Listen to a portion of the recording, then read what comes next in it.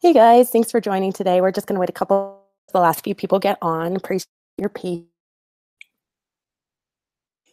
Um, over on your right-hand side of the screen, the little chat box, you can go ahead pop questions into, and my colleague Jeff, the uh, webinar today will also always be available if you want to email afterward up on any questions that do pop. You can always message to egg.com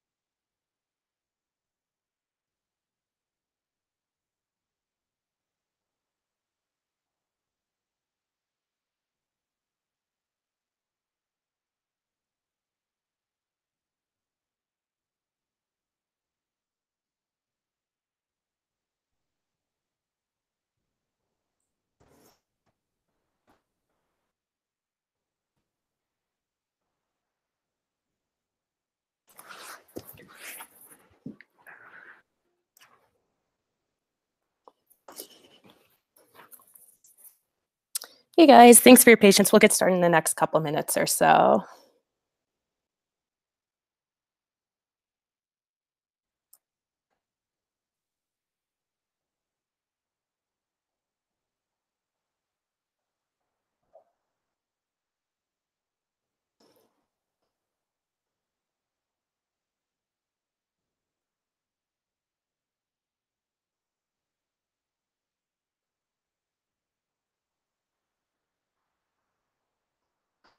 All right.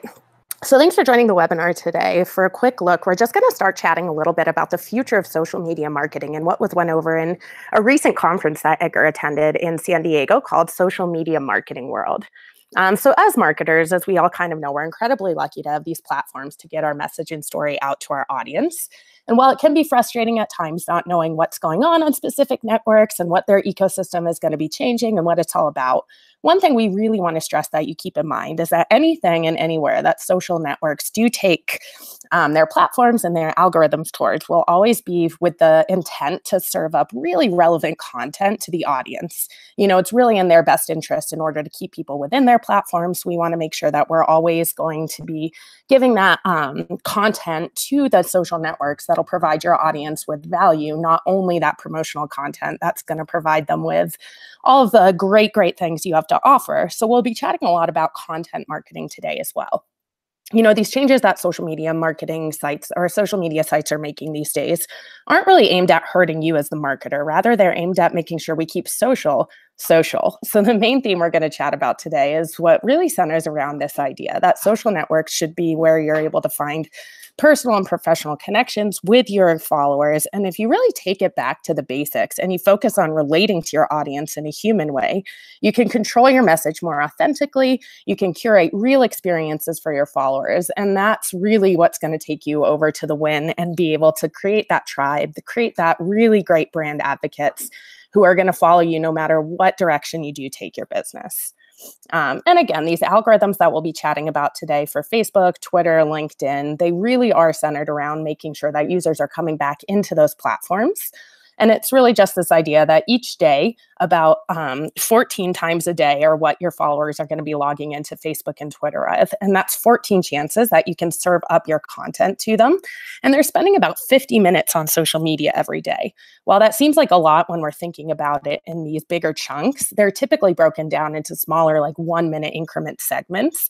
So the more you can get your punchy content out there and in front of them when they're just scrolling through quickly to kind of grab their attention and stop them, the more likely it is you'll find success with all of the, that great work you're doing on your posts. So to maintain that value, they're really going to be encouraging what we call engagement on your posts these days. So we'll dive right in now and start talking a little bit about what we call the relatability factor. Um, so we talk a lot here about in Edgar about this know like, and trust factor. And this is just the idea that whether social media marketing can do outside of traditional marketing is to really increase people's awareness of your brand. It's going to make them feel like they know you, they like you, and most importantly, they trust what you're doing. So, this idea really comes from that people buy from people, not brands. And it's hard to trust a brand or a logo. So, what this is all boiling down to is that you need to filter each post that you're creating through this relatability lens. Something that can help hugely in this and that can make you a little uncomfortable as you're getting started, but I'm going to really push you to try is to add yourself into everything you're doing on social whether it's telling personal stories about why you're passionate about the work you do or about your family or anything that can really help humanize you and humanize the person behind the brand, the people behind your business. This is really going to help increase that trust factor and really help increase people relating to you and wanting to keep following you. You have to give them that incentive to make sure they're hitting that follow first button on Facebook or make sure that they're always going to be served up content that's going to provide them with something to keep them coming back. So think of things that we like to do. You know, we like to think of what do you know? What are your passions that you're authentically going to be able to speak towards? And if you are having troubles coming up with this type of information, reach out to the people who know you best and get their opinion. Um, you can see here, this is one of our posts here at Meet Edgar, and this is part of our team. We put our faces out there all the time, letting you know that we are caring passionately, collaborating on this tool in order to help you as a small business marketer. Um, and having this human connection behind it and people who really care can go a really long way in making our brand strength quite strong on social media. So definitely pushing yourself to making sure that relatability is first and foremost that lens that you're filtering all your posts through. Cool. So, along with relatability comes service. So, if you're struggling to come up with that content that is relatable, again, thinking about these things that you're the people who know you best think of you as an expert as, when they're going to come to you as advice, your followers will also want to get that advice from you. Um, other things you can do to get this sort of service oriented mindset going is think of five things that really have nothing to do with the work or product you're creating. And sharing these on social media can be huge, again, just to get that relatability factor going. So you can then sprinkle in your promotional posts along the way. Um, so some things we like to think about are like, how can you share the story of your day to connect with people, not only in your work, but how have you gone about and um, gone throughout your day in order to structure it so that you can be more successful in your business, so that you can be more successful in your marketing, and sharing and documenting this rather than curating this sort of specialized, um, like holier than thou sort of post can go a long way. If you're able to take that curation and documentation to a human level, that's when your followers are really going to start to appreciate you and connect with you and ultimately make sure that they're becoming those awesome brand advocates. Um, and always remembering, mem- remembering people go to social media to escape and to find solutions and to be inspired. So when you are making your posts, making sure that they are not only providing that really great um, content in order to let them know about your business, in order to provide them value, but think of ways you can inspire people to, to get them to smile, to get them to have that emotion throughout the day and using these questions like who is a who is this post serving? Does it sound like me? Are you going that extra mile to get that brand voice out there? But not only for your brand also for your personal brand. So adding your personal self into every single post that you're doing is a huge huge way to connect with your followers. And you know, thinking about your posts not only as providing that text content, but that visual content, it's basically like a billboard for your business in a lot of ways. One way you're able to answer these questions is not only thinking about who you're serving, but thinking about what people want to see on social media. When people think about branding, they're going to consider visual components like their colors and fonts and logos. But they don't stop there. You want to also make sure that you're telling a story through this, creating captions for your followers to see this, and making sure you're keeping those consistent brand colors. You can see here on this slide, we do have this awesome little Meet Edgar with our own little Meet Edgar logo in the bottom left-hand corner. But this isn't something that we're necessarily making um, making as a promotional post on social media. This is providing value. It's a tip we've learned. It's research that we've done, and creating this really great visual content not only gets the content's message out there, but when you see this quickly, you know that it's from Edgar without having to take that extra couple of seconds to look at who it's coming from in your feed. Um, so think of ways you can keep that consistency not only in the visual content, but also in your text content in order to get that um, quick recognition and increase that all important know, like, and trust factor with each post you're putting out there. Cool. So once your posts are nice and relatable and you're really getting that great content that's serving your community out there, we, we really want to make sure that your next thinking of is how to connect in this niche that you've created. niches are so so important on social media just because where it's going is not only just getting more and more followers it's getting engagement with your posts and the more engagement that you're going to see is going to come from those people who are going to be advocates for you who are really interested in the specifics that you're doing uh, you know, you're not going to please everyone. Think about things you can do to say, you know, hey, this is who we're good for, and not being afraid to say, this is who our product or our service or our blog is not going to be good for, not add value for, is just as important.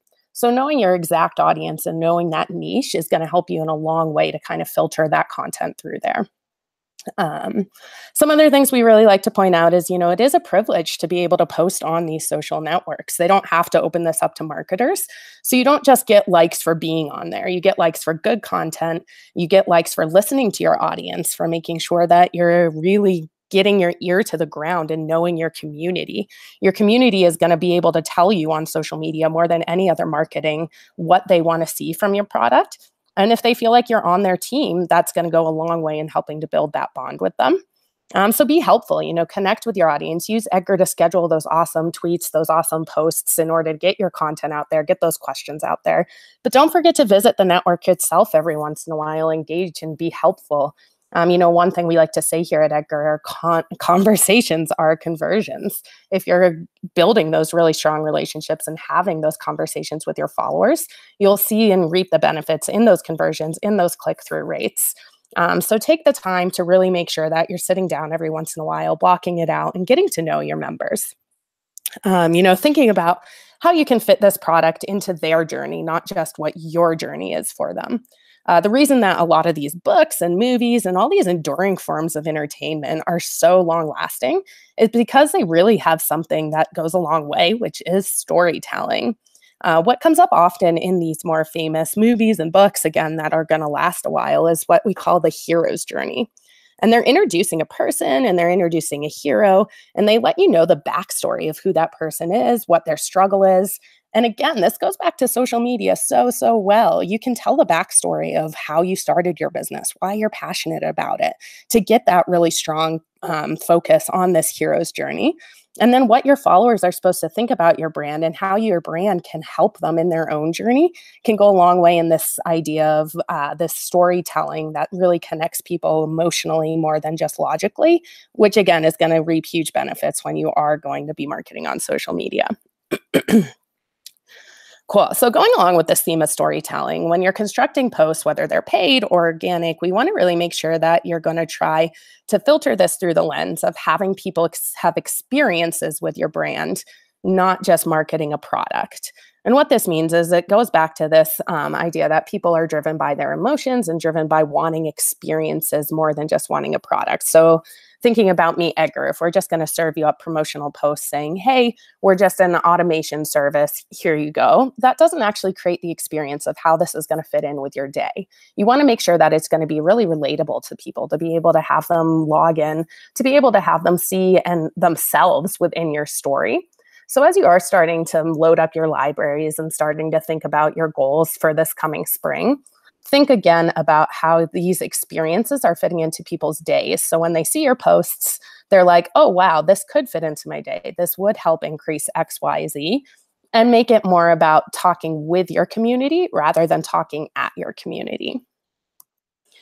Um, on the other side of this, remember people are also really excited to tell their own stories. So, again, loading up your library with different questions. Ask about their travel experiences or books they like to see, and you'll see huge benefits of people replying to you, which won't only good to give you the huge benefit of engagement on your post, making the algorithms pick that up more. It'll also give you a lot of relevant information about who your audience is, about when they're online the most. If you post a question in the morning versus afternoon, compare the answers that you get. Compare when your audience is actually going to be engaging and taking the time on social media rather than just kind of passively scrolling through. Um, and use this as to really inform your schedule going forward as well. Cool. So the last tone check that I really like to suggest here is that how you're going to share these posts should be thought of as if you're at a dinner party. So you're at a uh, you're at an event and you're just talking really casually and conversationally with people. This is the type of language and tone that works so so well for social media marketing. Um, it's going to really have that you know why should you care because you're connecting on a human level and people care about other people. So filter it through thinking about you're out to dinner with your best friends. How would you tell this story to them? How would you present your product to them? And try doing that in your updates as well. You know, people are going to join groups and join discussions around things that they're really passionate about. So use things like your Facebook analytics and your Twitter analytics to find out what other things your community likes. There's a ton of ways in the audience tabs there where you're able to see their TV interests, their sports interests, things that might not seem really relatable to you. But if you're able to add these little kind of things into your actual posts that are presenting um, the content about your product, it's going to go a long way in helping to get that conversational tone and really help connect with your audience on a stronger level. Cool. So to recap here, we're going to think of this as a small engaged audience is far more valuable than having millions of followers who don't really care and scroll past everything that you're posting. Uh, you know, businesses can still find a lot of success on Facebook connecting with a small targeted audience. You want to make sure that you're always providing value and the type of content that you're putting out there is really focused at your ideal customer. And that comes from niching it down. So as you get that kind of overarching theme of what your blog is about or what your product is about, think about how you can take that one step further and how you can really connect with the smallest, smallest subset of who is going to get the most value out of this and you'll probably see those posts get the most engagement because those are going to be your strongest followers. Um, you know, we're always, of course, looking for ways to increase our following. But every change that we're seeing happen on social media these days, whether it's that Facebook apocalypse with their algorithm changes a couple months ago, or these recent Twitter changes, are so focused on making sure that your audience is always going to be connecting in an authentic way. So forget about just presenting the facts and think about how you can join in the discussion with your audience. Uh, you know, target your audience and what their interests are to get them speaking to you um, and get them listen and start to listen to what they're saying so you can really again make sure that you're presenting this information in a way that creates engagement um, if you're having trouble finding out how to niche it down how to get this content to be really relatable. Uh, you know, start by doing simple things like looking at the camera roll on your phone or asking your friends and family what they would come to you for advice with. Uh, you know, what excites you throughout your day? What are you photographing? These things are a really great way to get your personality into your brand more in an authentic way. It's not going to be something that people just want to see fake curation on social anymore. They want to know about your brand and who you are. And again, people are buying from people, not brands. So use these things and don't be afraid to experiment with them and adding that into your posts on a regular basis. Um, cool. And always, always, always keep seeking ways to be helpful. You want to be informative and you want to be entertaining on social media. Of course, those things are going to give you huge, huge benefits. But you also want to make sure that you're doing exercises like writing a list, what you're a really great master in, so that you can help share this knowledge with your community.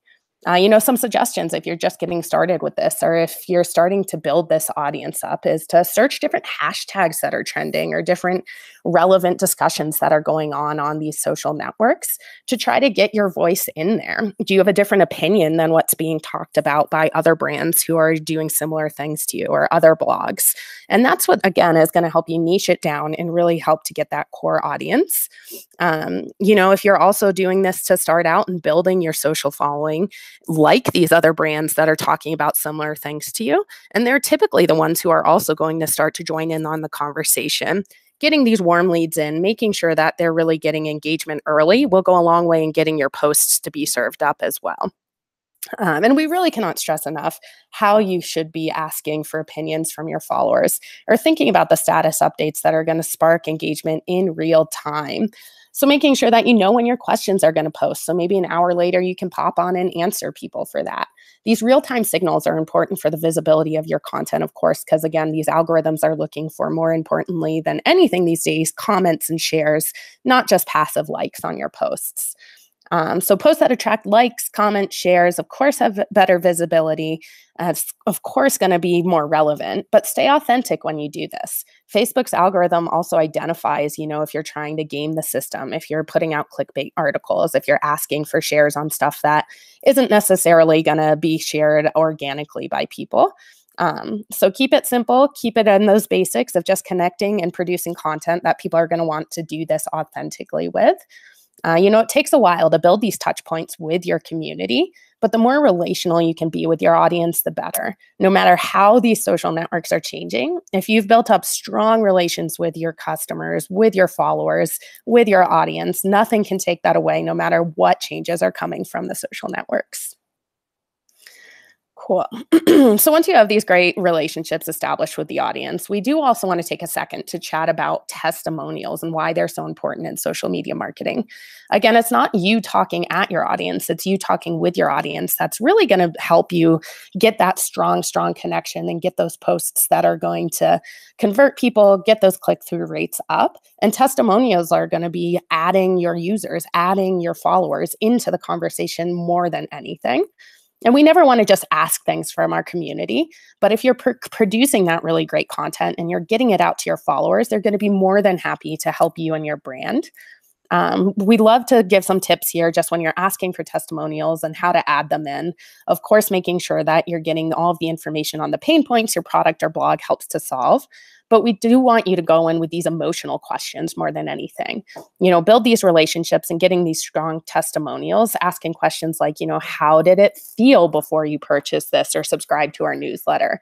What did it feel like when you pulled out your credit card at that moment? Think about all of these things that people might have these stop gaps when they are either trying to sign up for your service or trying to sign up for your newsletter. And if you can get other people saying what it felt like if they had these same nervous emotions at those times, and then having this follow up, how did it feel in your life now that you have our service? These are going to be the testimonials that are going to drive people more than anything, rather than just asking people, hey, what do you think? And adding that to your Edgar library. Really make sure that you're engaging and taking the time to ask people more about how they feel about your product, and that'll move the rest of your followers quite a bit more.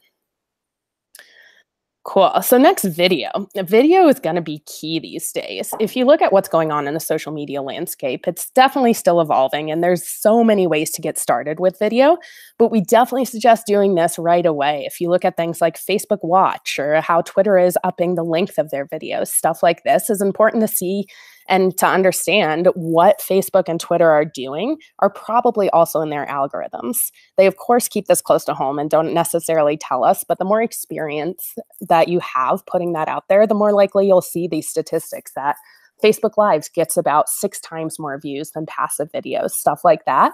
So, making sure that you're really engaging and really taking an eye and a peek at what social networks are um, really evolving towards. Um, so, you know, one thing that I also like to say here is that online expert, online marketing experts, people like Amy Porterfield, who is so, so strong in webinars and video content in general, um, all that she likes to say is that it's all about being brave enough to get over the fear of video is uh, for when you're getting started. Your why has to matter way more than your insecurities. So, why are you doing this? You're doing this to add value to your followers' lives. And if you're keeping that in mind, it'll get rid of all of that fear and you can just go for it. And again, social media and the brands that are really being rewarded with video aren't necessarily those who are producing the highest quality content. They're the ones who are documenting their day, giving those awesome behind the scene looks at their offices, stuff like that. Um, so experiment, see what happens when you just do something as simple as taking it on your iPhone and posting it up there. It doesn't have to be something that's going to be a huge, huge investment for you. Um, and you know, again, Facebook is introducing a new app, Facebook Watch, soon. And to compete with these other video services, paying attention to this can be huge for your marketing. And one of the best things about video is that it's the most authentic form. You can't fake being behind the camera. Your face is right there, you're getting out to your audience, and there's no way to hide. And this really goes a long way in building that trust factor for people knowing who you are and making sure that they're knowing they can trust the brand and the content that you're putting out there. Um, so if you're struggling for ideas on what to say in your videos, doing things like answering FAQs that come into your support box every single day on a video won't even won't only help your support team, it'll also provide that awesome value for your followers. Uh, can you make an announcement about something that's going on in your business? That's a really huge thing on video. They want to hear it right from your mouth. They don't want to sit there and read it. And that can be way more captivating for people. Uh, you know, consider going live and uploading a video every day that every on the same day every week to introduce your blog posts. We've seen great success doing that here at Edgar, and it's made sure that people not only see our founder's face a lot more, but she's also able to get that conversational tone that we strive for so much in our blog posts out there and get that relevant content in front of you. Um, and remember that the future of what Facebook is going to favor is what you should focus on, and every signal is pointing towards video. So making sure that you're utilizing the awesome features that Edgar has here and uploading videos and sending them out on a weekly basis to see that really great engagement um, increase. Cool. um, so there's many, many changes going on on Facebook, obviously. We've chatted a little bit about those now. Um, so we'll switch gears and go to Twitter. Uh, so there's so many changes going on with Twitter with their newest release on their terms and services, um, stuff like that. But we also want to make sure that you're realizing this doesn't mean that it's over for marketing on Twitter either. Uh, so when you're considering and constructing and building your tweets, remember that these same rules still apply. The main difference is that Twitter is going to be something that's a little more focused on live posting, and they really want to get that human to human connection and not just something that's a stream of sharing links. So how can you add value into the tweet itself? You have 280 characters these days, so you can make things like lists. You can pull out pull quotes from your blog posts. You have all of these awesome headlines that you've brainstormed for every article that you're writing. So pull those out and add them to your actual tweet rather than just sharing the link. And you'll see really great benefit of people being able to discuss more and not being having to leave Twitter to actually get the value. Um, so test that out. Make sure that you're utilizing that great, great 280 character feature to add things like emojis in. Um, again, we talk a lot here on this webinar series about how emotions drive the purchase power of people, how they drive the brand um, aspect of people relating to you more. Um, and, you know, it's not just emotions like being happy or sad, spark people's curiosity, spark people's um, ways of engaging with your posts in, uh, in ways that they're really forced to retweet them because they feel something so strongly about it. Uh, so think how you can add in anything from emojis, from emotional words, stuff like that right into the tweet, and you'll see better click-through rates to your blog post or to your landing page. Um, so Twitter, definitely a more timely network. Even with the algorithm, Twitter is still the best place to find out what's happening right now. And Facebook is probably more about what's happening, you know, this week, what's not going to be just as relevant. So the main thing when you're adding tweets to your library is to really think about, you know, what's happening now in the world? How can this relate right now? And Twitter's algorithm will really serve those up quite a bit better. So this goes back to searching those hashtags, to searching those trending topics, which you can actually do right on Twitter in their analytics site. So taking some time to do that especially as Edgar starts to roll out some new awesome features in order to automate tweets, but not have them repeat to stay in um, in compliance with Twitter's new terms and services. You'll start to see those roll out soon, which will be awesome. Um, but think about ways, again, that you can add in these relevant hashtags, eh, but still get that automation going. Um, cool. So newer posts obviously get the most leverage on Twitter, more so than any other network. So making sure that you're taking some time to know when your audience is online, um, and think about your own behavior on Twitter. If you're walking in your followers' shoes, you're probably checking Twitter at similar times. Uh, doing things like experimenting with posting off the hour. If people are just leaving a meeting or ending a TV show, they might be checking Twitter more often then. So, doing it three to five minutes past the hour or past the half hour might have that timeliness of your tweet pop up so people are able to see it much more. Um, thinking about people's interests, you know, Twitter has a lot of data on your users. So not being afraid to pop in there. Uh, you know, for social media marketers, this is so powerful. And it means that you have the tools to grow a relevant audience. Going back to niching down your content, going back to really making sure that your content is relevant for your engaged small tribe rather than just trying to get a huge following who isn't necessarily going to be just as engaged.